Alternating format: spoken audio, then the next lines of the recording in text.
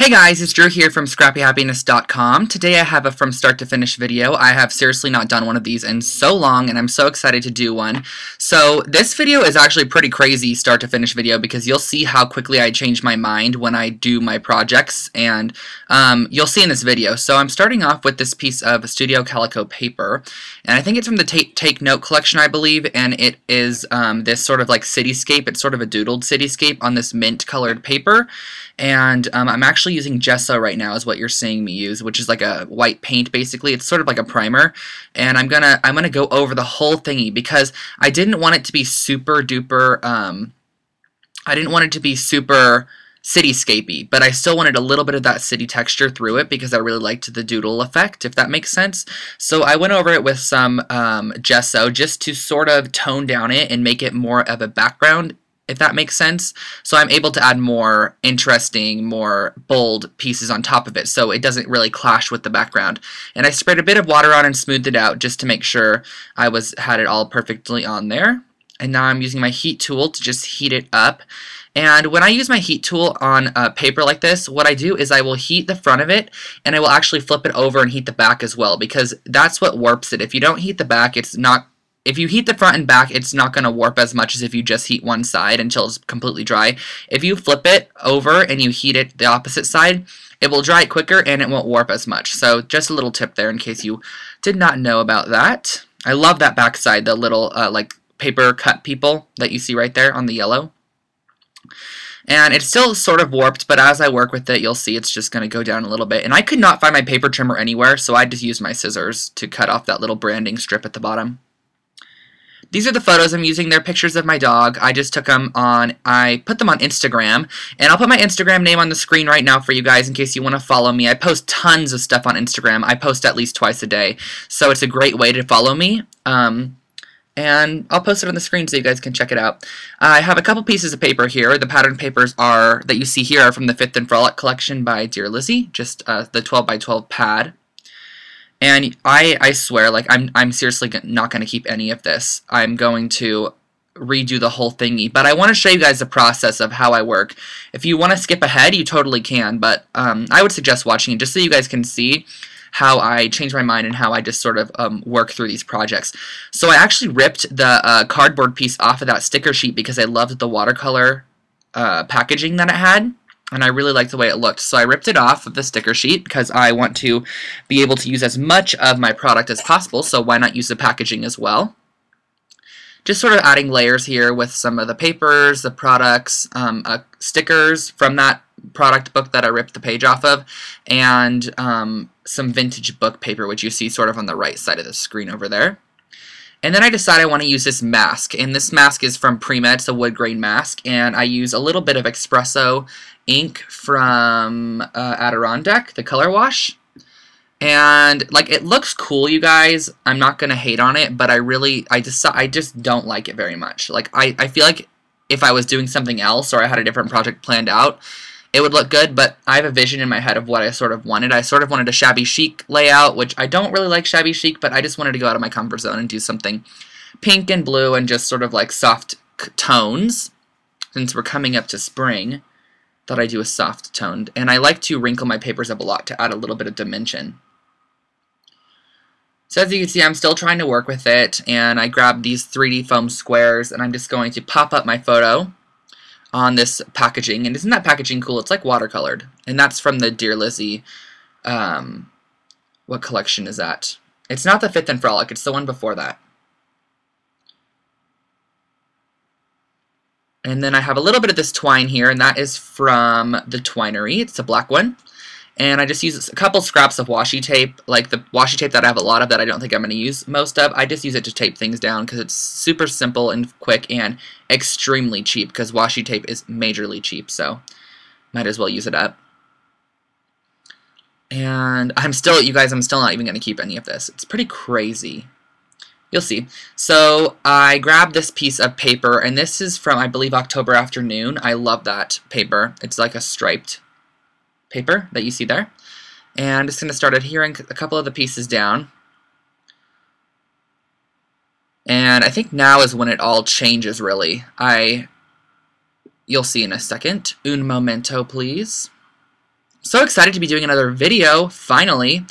Okay, so I actually grabbed a piece of Maya Road rosette trim, and this is a discontinued trim, sadly, so there is no more of it, but I used three of the rosettes. I wanted a little bit of texture, and I cut a couple strips of the um, that striped paper that I showed you from October afternoon, but I decided actually not to use it uh, up there. I was going to use it as sort of a random little element, but I didn't use it, and I even ruffled this little piece here. I don't know why I did, but I just decided I wanted to, so I stuck it over there, which I'm not going to use that either. You'll see. And actually, you guys, when I was stamping this, the camera completely fell. Like, I was totally hardcore pressing this, and when I stamped it on the paper, the camera knocked over, so I, I picked it back up at this point, but um, it did fall over. And I just stamped that heart stamp, and that's a Donna Downey foam stamp. That's from Prima Marketing, and I stamped it in some Blackbird Color Box ink and cut it out, and I actually stamped it on some Dear Lizzie Fifth and Frolic paper. It's the yellow, one of the brighter yellow sheets, and it's just, I, I feel it's too bold. Like, it's just a little bit too bold for the page that I'm going for. That heart, it's a little bit, I don't know, it, it adds too much contrast, I feel, and I don't really want that much contrast. I want things to sort of flow evenly, and I feel like that's just uh, a little bit too contrasty with the page. So at this point, I'm still thinking what I'm going to do, and I grab this large piece of fabric. This is from Moda Fabrics, and I flip it over, and I decide I'm just going to start all over. So I basically start all over again. And I just, I use the reverse side of the fabric so I get this light pattern. I love the wrinkles in it. I love the texture it has. I just really love this new start of a page. So basically, you guys, I just restarted my page, but trust me, it gets a lot better. And I adhered that fabric piece down, added those little strips I cut prior, the little uh, striped strips that I was going to use before, and I put them behind the fabric swatches, and I actually flipped the heart over so it has this cream color on um, one side. It has a typewriter, and remember this, written upside down on that left side of the heart. I didn't like that, so you'll see what I'm going to do. And just a couple more little strips of paper. I want to add little pops of color here and there just so it's not super bold in one particular spot. I want it to flow evenly across the page. And what I'm actually going to be doing is I'm stapling a couple of the elements down just so I have sort of a base to work off of. And I'm just, again, moving around my twine, adding a little bit of glue here and there, just whatever I have um, whatever is on the page, I'm just sort of playing with it.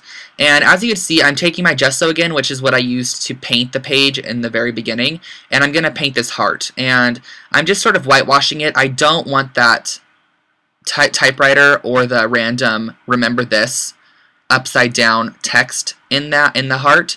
So I decided that I'm going to paint it super simple way, and it, it adds that little bit of a shabby chic effect to your page. And I really like the way that that looks a lot better than the yellow and a lot better than the typewriter, which didn't even look like a typewriter because like 70% of it was cut off anyways. And I used a little bit of that espresso mist to drop on my page, and since this is fabric, it actually absorbs quite a bit, so the drops become huge. I didn't really think about that, but you know, I sort of actually like the thick drops after I looked at it.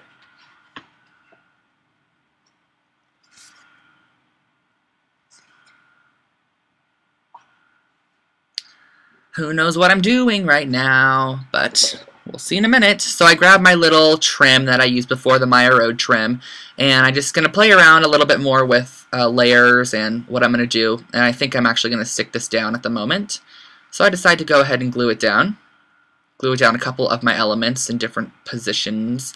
And then I grabbed this little uh, piece from Heidi Swapp. It's one of the definition terms, and it says adorable on it, which I thought perfectly fit this page. And I stuck it up there sort of as a free-flowing banner, and I just spelled out the word Ozzy with these thickers. I think they're the e.l.f. font, and they're this gray with a white polka dot on them. They're some of my favorites. I have six packs of them, all shoved in one container, and I just pull them out, and I seriously love them. They're incredible.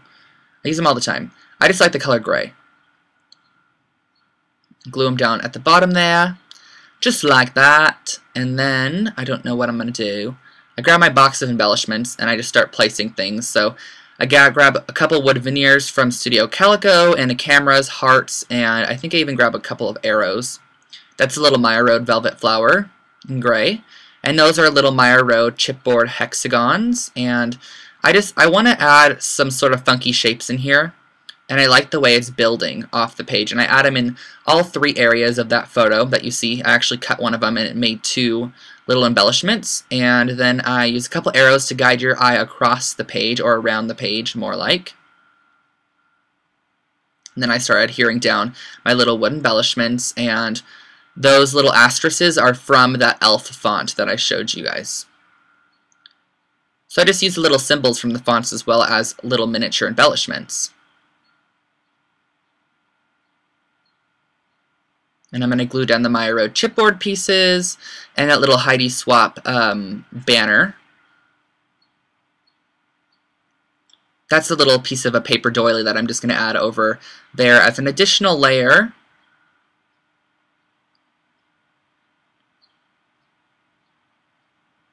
And then I grab this little flare piece from Buttons and Badges on Etsy, um, and I actually decide to just glue it directly over the top of that uh, wood veneer camera that I had there before. I liked that one. It added a little pop of color and a sort of a new texture with the shiny element that it had. And I add a few cabochons that are just, those are just from um, my stash, random collected stuff. Then I decided I'm going to do a little bit of sewing, so I actually grabbed some embroidery floss, and I got a ton of embroidery floss at Michael's a while back, and I sort of use a soft yellow cream color, and I'm actually going to be sewing completely randomly. I'm sewing a little bit here, a little bit there, a couple stitches here, three or four stitches there, long stitches here, long stitches there. Like I'm doing it completely random, but I'm going to go around the edge to define the edges of the fabric since it's sort of really tonal with the um, blue on that whitewashed background, I decide that I'm going to add a little bit of sewing to break that up. And that's really the layout, you guys. It was super simple and easy after I got uh, the hang of what I was going to do with the background. And then um, I'm just sewing it down, and that's about all. So I hope you enjoyed this page. It's a little bit more of a dimensional page, and I think that if I was to do anything, I would actually add a bit more contrast because it's sort of um, just tone on tone, but I really love the outcome of the page, and I hope you guys enjoyed. Don't forget to check out my blog at scrappyhappiness.com and follow me on all of my social networks, all linked below. And lastly, don't forget to comment, rate, and subscribe. You guys um, subscribe above, and right there I'm just adding a couple little pencil doodles in there. So have a great day, everyone, and I love you all. Bye!